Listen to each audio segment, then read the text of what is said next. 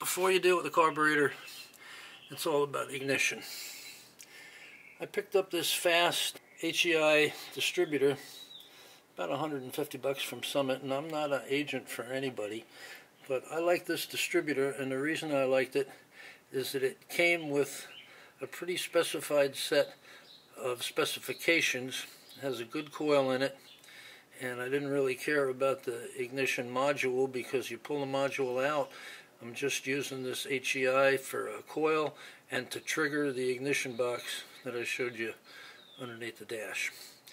So I'm going to take the cover off of this distributor and we'll look inside and I'll show you what needs to be done and I'll show you the numbers that I came up with that work for me.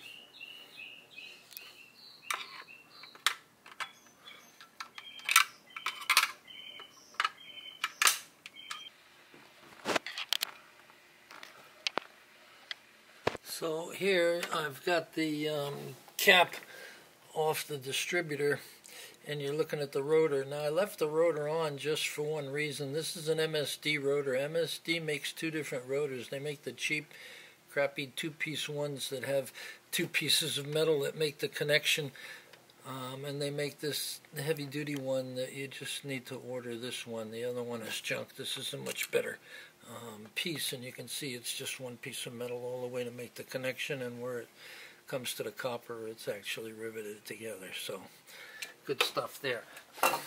Your advance weights spin out as the distributor spins and if you look down here that bottom plate moves top plate is actually moving but they come together and you can see that little piece of a cut off screw there.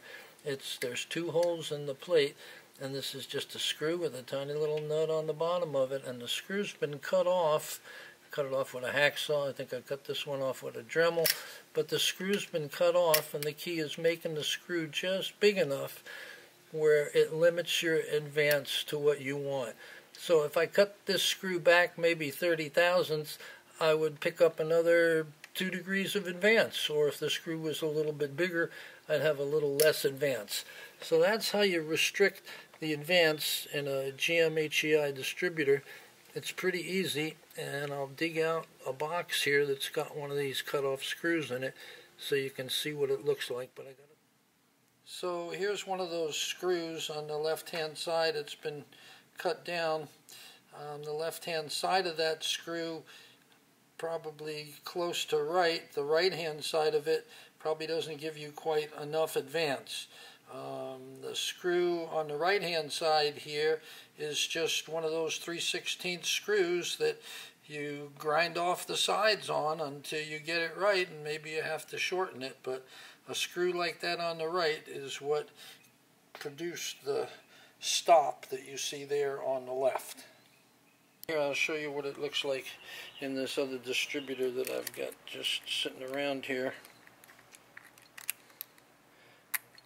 So the screw goes right in there and then as the distributor as the weights spin and the distributor advances it comes up against that screw and stops it.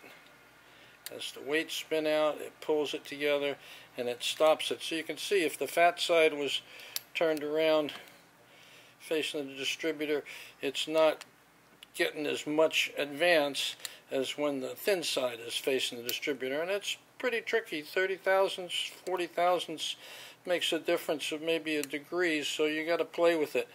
But how do you know exactly how much you're getting? Well, you got to measure it in the car. And the easiest way to do that is put a heavy set of weight of springs on your distributor and start it up so it doesn't get any advance and then read the balancer and see what you've got.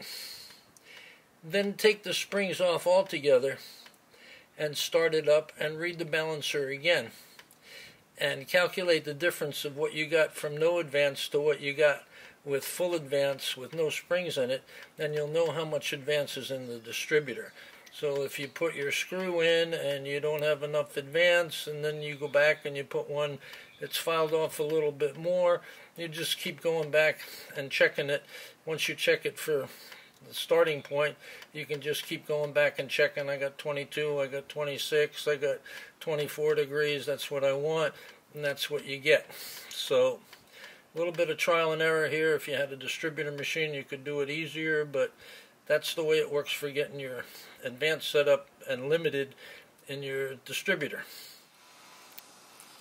So here's the fast HEI distributor, and you can see the vacuum advance canister on the right. You put an Allen wrench in where that hose goes, and you can increase or decrease the pressure in the spring that's in there, thereby making the vacuum advance come in faster or slower.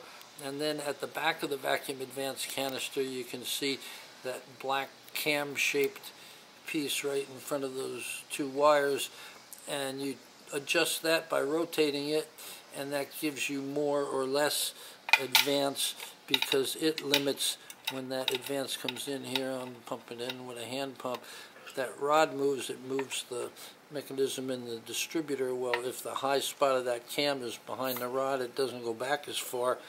So you have less advance or more advance. If the low spot is on there, it goes back further.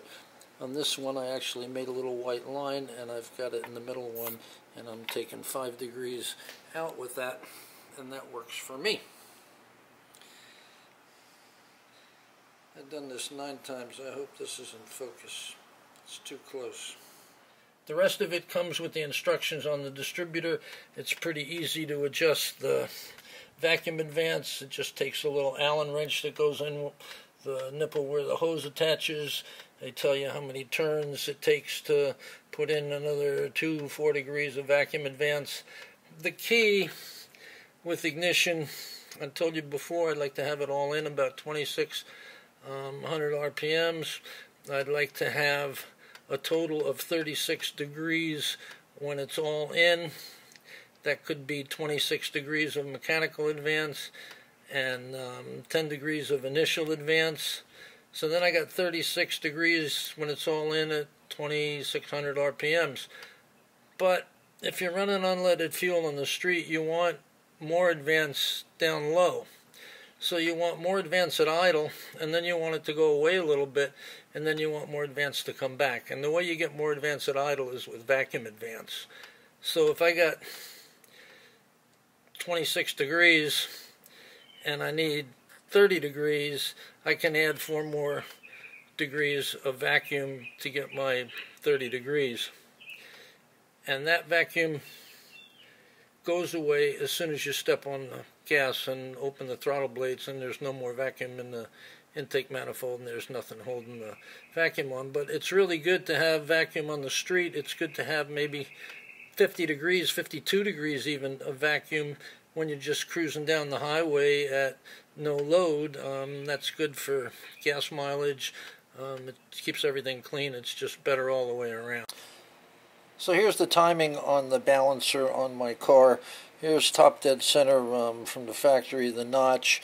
This is 12 degrees where I set my initial timing with the vacuum disconnected, rotate the distributor until this line is lined up with the pointer on the um, front cover.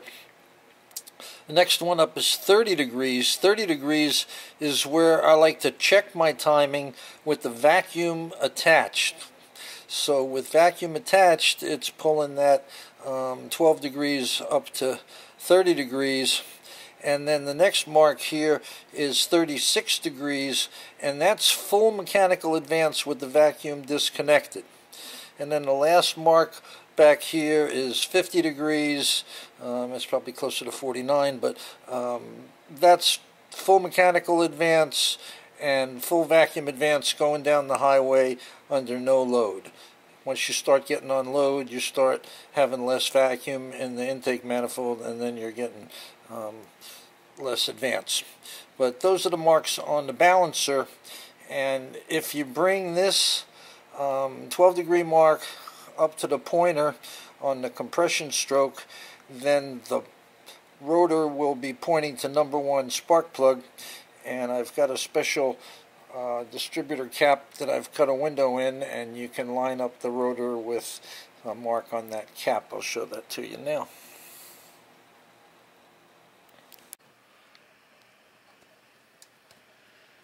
So here you're lined up with that um, 12 degree mark is lined up with the pointer on the um, timing chain cover and then up here with that cap on the distributor and the cutout window you can see that the mark on the rotor lines up with the mark on the cap.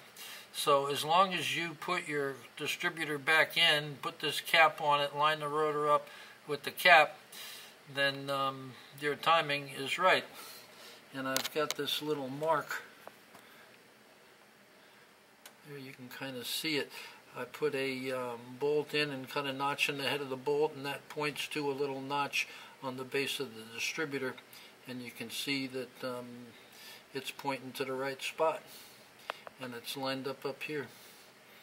And we'll start this thing up and it'll be perfect. That's all I got. Your ignition is get a piece of graph paper down the left hand side run uh, how many degrees of advance on this one I've got 10 20 30 35 degrees across the bottom you got RPMs 1,000, 2,000, 3,000 RPMs. You can break it down. Put a timing light on your car.